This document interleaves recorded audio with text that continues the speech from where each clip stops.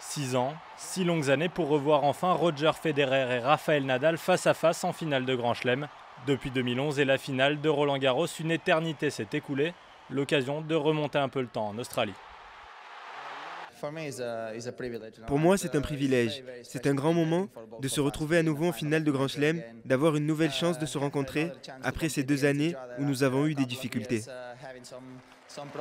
À eux deux, Federer et Nadal comptent 31 titres du Grand Chelem. Mais fini la période où les deux champions avaient fait de leur duel l'un des plus grands de l'histoire du sport. Nadal a 30 ans, Federer 35, et les voilà respectivement 9e et 17e au classement mondial après deux saisons de blessures à répétition. Depuis 2004, les deux champions se sont affrontés 34 fois. 8 de ces matchs étaient des finales de Grand Chelem. Ils se connaissent parfaitement. Je suis fan de Rafa, son jeu est exceptionnel. Nous avons eu des combats épiques dans le passé et aucun de nous deux pouvait imaginer que cela arriverait encore. Il y avait bien eu une finale il y a deux ans à Bâle en Suisse dans un tournoi mineur. Mais cette fois, le piment d'un tournoi du Grand Chelem donnera une toute autre saveur à ce nouvel affrontement.